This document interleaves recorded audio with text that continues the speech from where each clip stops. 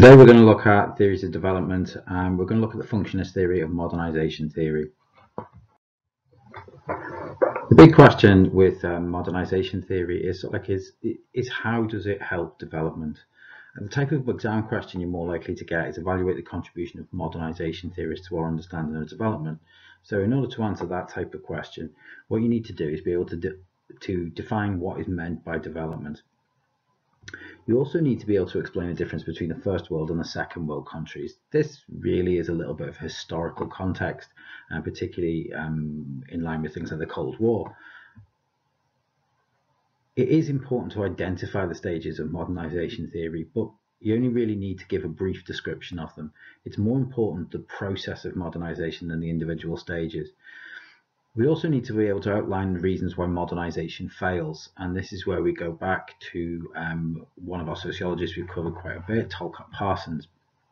We need to analyze the impact of the ideas of modernization theory, um, particularly applying that to different sectors such as education, gender, health, uh, conflict. And we'll be able to need to, to give some evaluations of these views. Now, there are a lot of evaluations of modernization theorists. Many of them come from uh, dependency theorists who we're going to look at next. So we go back. Um, when we look at what development is, it is essentially good change, and modernization theorists see development as being a positive change for different nations. The problem is with modernization theory is why. Why do they look to change the developing world? Well, to answer that question, really what we've got to do is we've actually got to look back into history a little bit.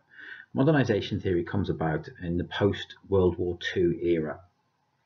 At the end of the World War II, um, the world was pretty much split into three. We had the first world nations, which was essentially the Allies, the US, um, Britain, most of Western Europe, and we had the second world countries, those that sort of like those that um, favoured communism. So most of Eastern Europe, parts of um, East Asia. Now, these became a concern to the Western leaders, the second world nations, because communism was becoming quite popular. And lots of third world nations, those that didn't either uh, ally themselves with Western democracy or with Eastern communism, they looked to communism for solutions and it concerned Western nations. Why, you might say? Well, it gave Western nations less part partners to trade with. Because communism was essentially uh, a self-sufficient ideology, it impeded US trade interests in the world. So the US were opposed to communism. Now, ideologically, they opposed communism because they said it was an authoritarian dictatorship. However, um, it limited the scope uh, for American companies to go overseas and trade. So the stronger the support for communist ideologies became, the weaker capitalism became. To understand modernization theory, you need to understand a little bit more about functionalism. Um, functionalism we've always seen as being quite a staid and quite a stable theory, but actually theorists such as Durkheim propose that societies will evolve. Uh, they would say that societies evolve because they have similar beliefs. Um, they will evolve into more complex societies where individuals start to have their own beliefs and society becomes less based on community and more based upon individualism. Ferdinand Tönnies, who is a big um, functionalist theorist that we ha we haven't really looked at too much. If we if you'd done the religion module, we would have. He suggested that religion and community will eventually be replaced by scientific and superficial relations. So, to a certain extent, Tönnies is actually right. Uh, it's from these ideas that modernization theory is developed. Uh, as society progresses through the evolutionary stages from the industrial revolution, uh, now we see sort of like part beyond globalization and we see sort of like into what we're on the verge of what we've seen as the fourth industrial revolution with the invention of artificial intelligence this will bring changes to our society. And another functionalist, uh, another modernization theorist, Huntington, sort of suggested that modernization is, is an evolutionary process that will bring about revolutionary changes. Now, these ideas might be completely new for people who haven't studied uh, functionalism in depth, but functionalism is a theory of evolution, even though we tend to suggest that they prefer traditional norms and values. So what is modernization theory? Well, it had two main aims. Um, it wanted to help poorer countries to develop, but it also explained why poorer countries fail to develop, both economically and culturally. The main idea behind Rostow's idea, now bear in mind Rostow worked for the US State Department at the height of the Cold War, was to provide a non-communist solution to poverty that suggested that economic change and the encouragement of certain cultural values will lead to development. I'll leave you to guess whose values um, that Rostow suggested that these developing nations should adopt. But Rostow essentially was uh, an agent of the US state. There was no neutrality. Um, his research and his work was very much value laden.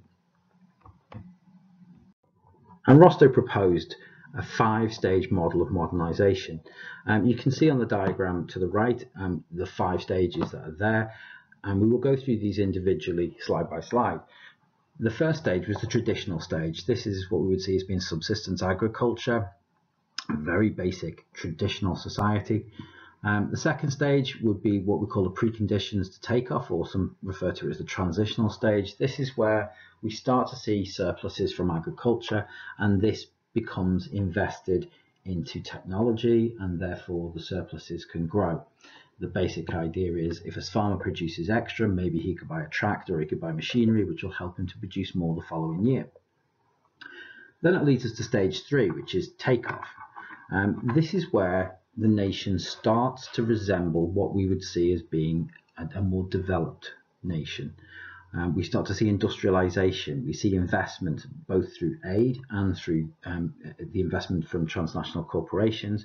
We will see regional growth. We'll start to see um, some political changes. We'll start to see the, the, emergence of a democracy. And we will start to see um, diversification. We'll start to see some nations producing more uh, than just agricultural goods. This should lead them to the stage, stage four, which is a drive to maturity. Uh, this is where they start to innovate. They become less reliant upon imports. Um, they, there is heavier investment in the infrastructure of the nation ultimately leading to stage five, which is high mass consumption. This is very much a consumer orientated um, society uh, where people purchase goods. Um, most people work in the service sector and it, that becomes dominant. And this is probably consistent with what you would imagine in the UK and the US now. So our first stage um, is the traditional society, um, very much based on subsistence agriculture, very little technology, um, very much a, a, lack of a class system, economic mobility or economic mobility. This is still quite common in rural areas in the developing world. Uh, whereas the urban areas tend to have moved on to either stage two or stage three. Stage two, the preconditions for takeoff, or as we saw before, the transitional stage, this is where the demand for raw materials uh, increases. So it could be, for example, the demand for coffee in places like Kenya, um, which will lead to an economic change. More people will become involved in it, will start to generate profit from the agricultural uh, products that they're producing. And what will happen is they'll be able to invest in further machinery. They'll be able to produce more and uh, enough to export. Um, if you go, for example, say uh, down most of your high streets now, you will see coffee from around the world. And this is a perfect example of, of what happens at stage two, is these nations start to produce more than they need. They start to sell it for export. And we in the West tend to consume it we start to see then some individual social mobility. We start to see a little bit of a change towards a social structure, a movement away from collectivist ideals to more individualism, um, the introduction of entrepreneurship. And then we get to stage three, those individuals who have moved up in, in uh, those individuals who have moved up the social ladder tend to take the lead and develop manufacturing industries. It usually is secondary goods, clothing, textiles, and goods like that. Goods that are mass produced and can be produced pretty much anywhere. But in um, the nations that are at stage three, they tend to be quite low wage economies. And as a consequence, lots of big companies, um, lots of TNCs will outsource the, their, their manufacturing to the developing world. Um, we only have to look in the labels in our clothes and see um, some of the nations that are at this stage, places like Vietnam, Cambodia, uh, Bangladesh, um, Turkey. These are some of the areas um, where we would see um, that will be seen as being at stage three. Now, stage four is the drive to maturity. This is where you're more likely to see nations resembling what we would see in the developed world.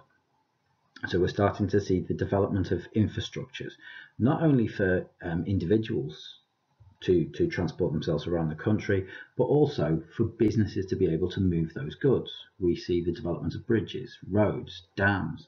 We will see um, infrastructure developments like airports, seaports, um, rail links. They will become better as they move through the stage to maturity. Now, often nations will go to places like the IMF or the World Bank to help get aid for these.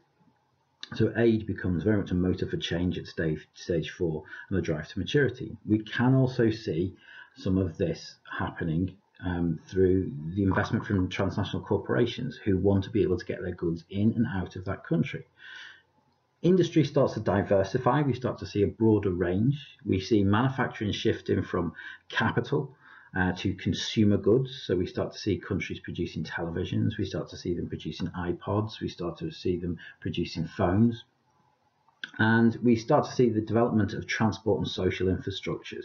Um, this can be anything from sort of like the, the, the development of democracy, greater equality between um, the genders, and also um, the influx of uh, Western media, which um, uh, and things like the internet, which will help. At stage five, this is where we in the UK are, uh, the US, most of Western Europe, um, places like Japan. We are in an era of an age of what's called mass consumption. Um, the industrial base is very dominant in society. Most people there is mass consumption of consumer goods. People um, earn enough money to be able to purchase these goods. They have disposable income to buy these things, or if they don't have disposable income, they have credit. And this leads us to what's called conspicuous consumption, which you may recall from the education module, uh, where this is we like purchasing things. Purchasing things becomes a pastime, and we are judged by labels that we wear. And this is Rostow's stage five the ultimate goal for Rostow was for us all to be drinking Coca-Cola and wearing Nike trainers and wearing Levi's jeans and other labels. This was the stage. Uh, this was the stage that Rostow wanted um, all nations to develop to. So you might wonder, why does modernisation fail? Well, we come back to our old friend Talcott Parsons. Um, Parsons, obviously, we talked about in family, we talked about in education. Well, Parsons suggested that societies fail to modernize because they have not evolved. They've not moved from these traditional to modern societies. They've, they're still living by particularistic standards instead of universal ones. Uh, they still believe in ascribed status rather than achieved status. They're still, they're still collectivist rather than individualist. What Parsons suggests is that these nations should reject um, some of their traditional uh, traditional beliefs, religion. Uh, they should be embracing science. They should reject their local culture and embrace consumerism. They need to reject their kinship, uh, their family ties that are holding them back, and embrace hierarchies like the class system.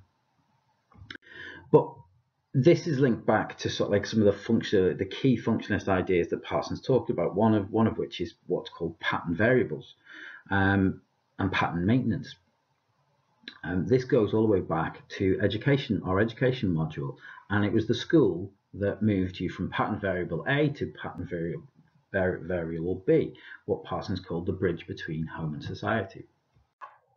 There are other obstacles, and other sociologists have, have, have talked about the obstacles to uh, modernisation.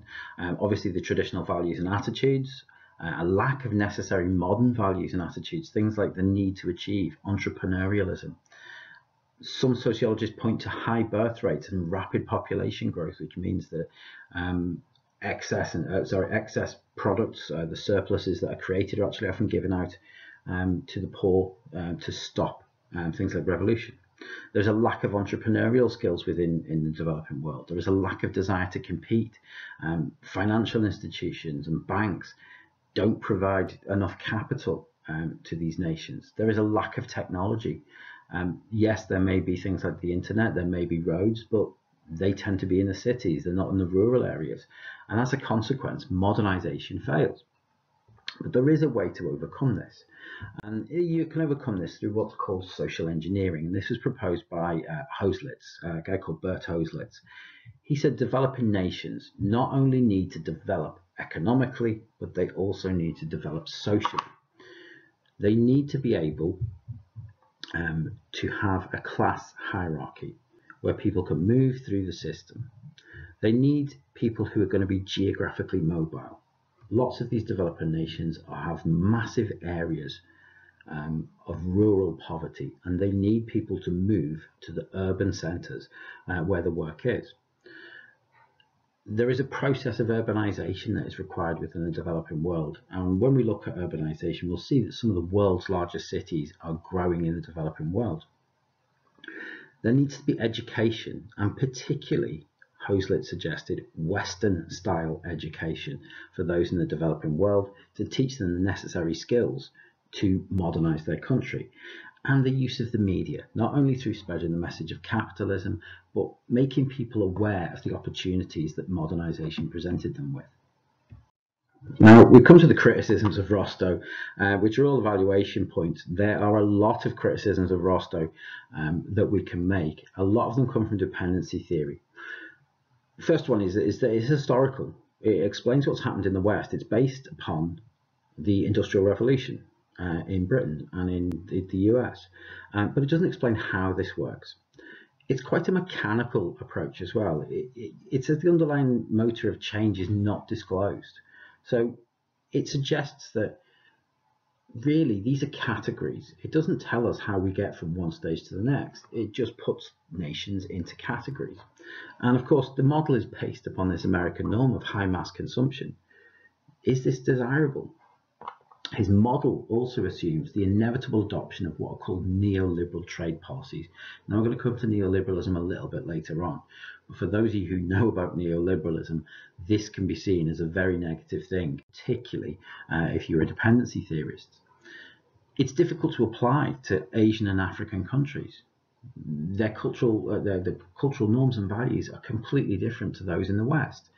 The stages don't always aren't always easily identifiable. Uh, the conditions for takeoff and pre-takeoff stage are very similar and they all often overlap. Um, according to Rostow, growth was automatic. Um, and by the time it reached the maturity state, by the time it reaches the stage to maturity, uh, but Cousens asserts that no growth can be automatic and that nations continue to need to push towards development. Again, we sort of like suggest that Rostow's thesis is based on Western, uh, on the Western model of modernization. Um, the uh, but, and this is a little bit of a counter criticism, the most successful nations when Rostow was writing this were the Western nations. They were the only uh, economies that were seen as being mature. So it was very, very difficult um, to see any other alternatives. Other criticisms of Rostow's modernization theory is that a lot of nations move forwards but then move back. Um, an example is Russia. Um, when we watched Naomi Klein's Shock Doctrine, we saw that Russia, um, at the end of communism, sort of like had a boom, but then fell back massively into into into huge poverty, um, and it left the country in transition.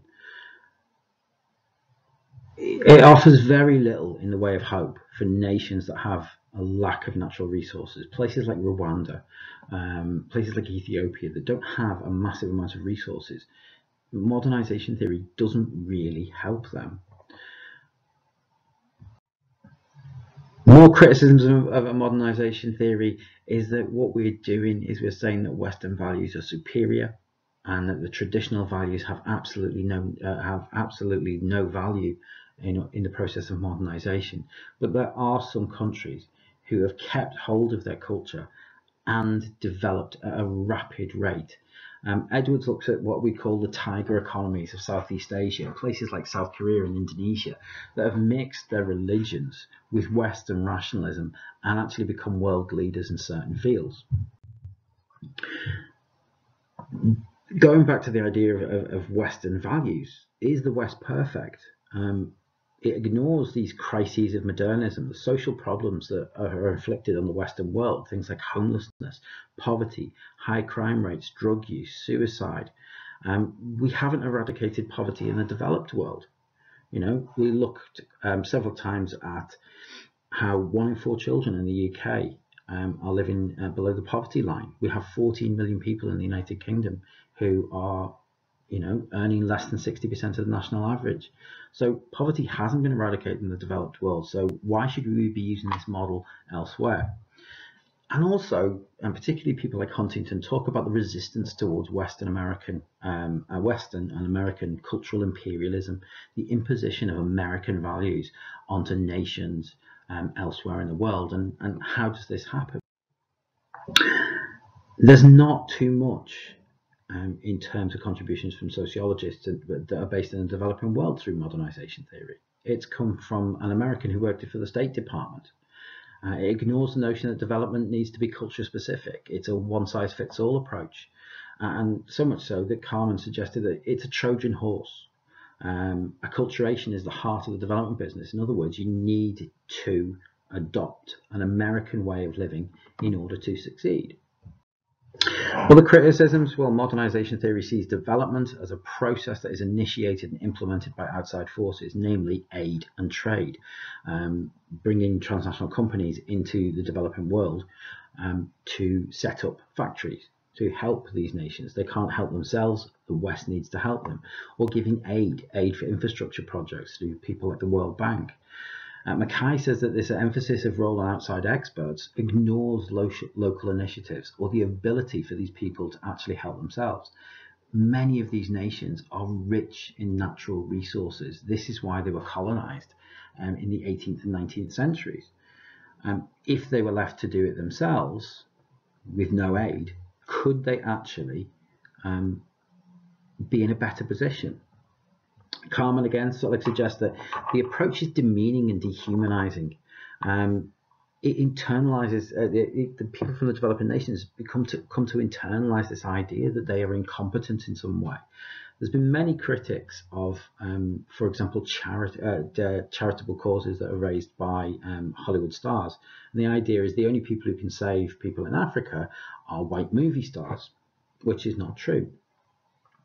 And Sankara says that if we look to the West for direction, then we become dependent upon them. Further criticisms are that the Western um, have encouraged the elites of um, these economically underdeveloped nations, and those elites tend to have become quite corrupt and self-seeking. And there are a couple of examples. General Suharto um, Marcos in uh, General Suharto in Indonesia, Marcos in the Philippines, who ended up milking their countries um, for uh, hundreds of millions of pounds. There are ecological limits. Modernization cannot be stretched to all areas of the planet. Uh, we need some people to consume less than everybody else. If we all consumed at the American standard of around about uh, around about four to five thousand calories a day, um, there would be not enough food for everybody and the social damage. We are creating what are called false needs. Um, we are advertising goods to people they don't need. Um, we are marketing um, aggressively at young people in the developing world for things like alcohol and, uh, and cigarettes. And therefore, we, we are creating a lot of social damage by, by adopting um, modernization policies. But it has been influential. Right? Modernization theory was the forerunner to uh, the policies of the IMF, the International Monetary Fund, and the World Bank.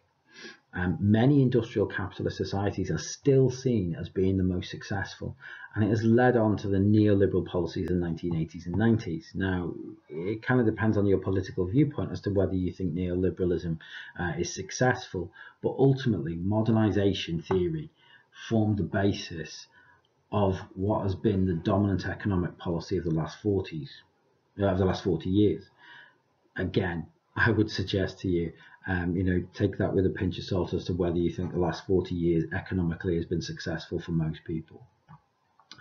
That kind of concludes modernization theory. Um, we next time we're going to look at dependency theory, and dependency theory is very much a Marxist theory and criticizes a lot of the ideas uh, that modernization put forward.